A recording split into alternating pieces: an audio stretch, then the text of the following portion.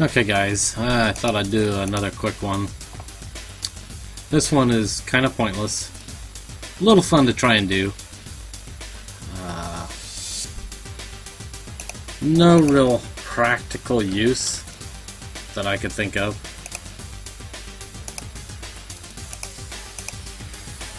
Okay. So what I did, really pointless. It was a fun learning experience. But if you notice, I have a removable disc with the Fluttercoin icon. This is pretty old school. Uh, I'm sure a lot of you will know how to do this.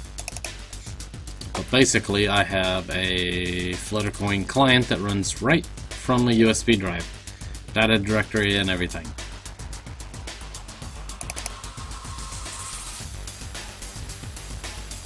Let me fire it on up for you.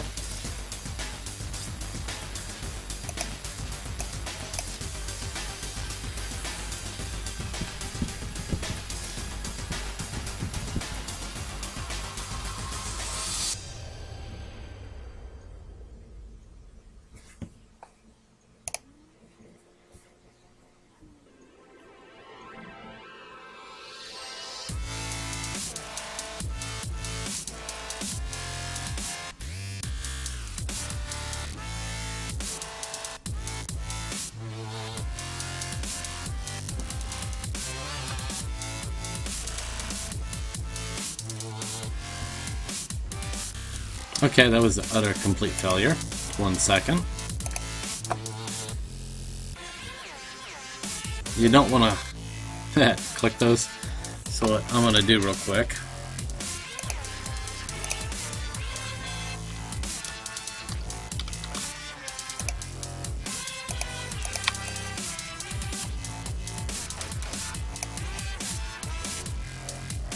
Come on. Okay. Now we got that.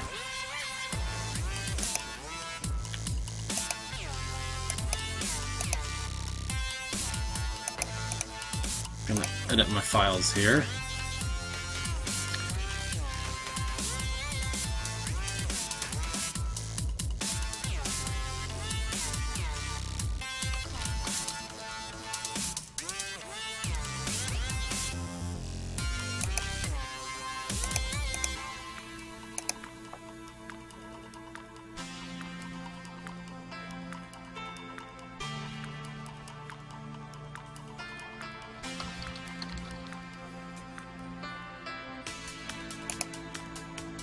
I think that should work.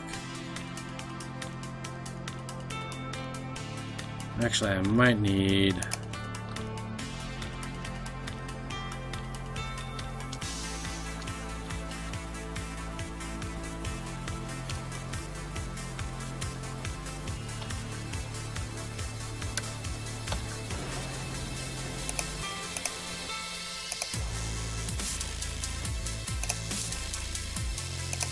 What? Um,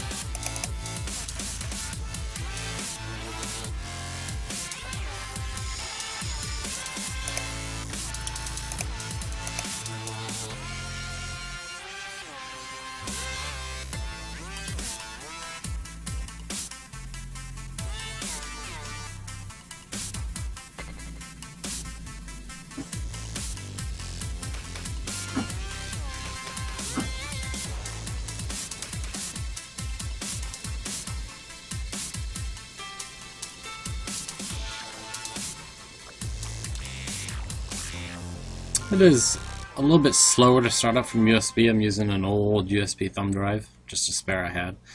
I would suspect that USB 3 is, uh, is a, much faster than this, so. But there we go. Nothing going on. I've never used this wallet, brand new.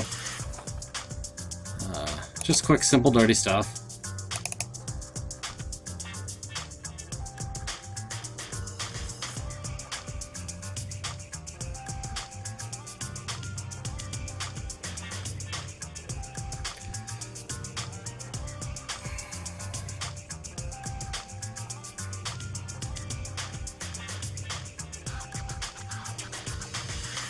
Nothing really special. The changes I made, I'll explain a little bit here. Yeah, go away, Avast. Of course, you're still gonna fire up, aren't you? The way this works is if you see the percent tilde D0, that is telling Windows to launch from the drive I am running the script from. Just a Windows batch file, nothing special. Like I said, a little old school. And that's how it knows where to put the data directory, so it doesn't matter what letter this is, it's always gonna work right for you. So, your wallet, your messages, it's all there for you. Uh, I can release this if anyone wants it. Actually, I might and just stick it up on Dropbox for you guys, so I hope you guys enjoy it. And have a good one.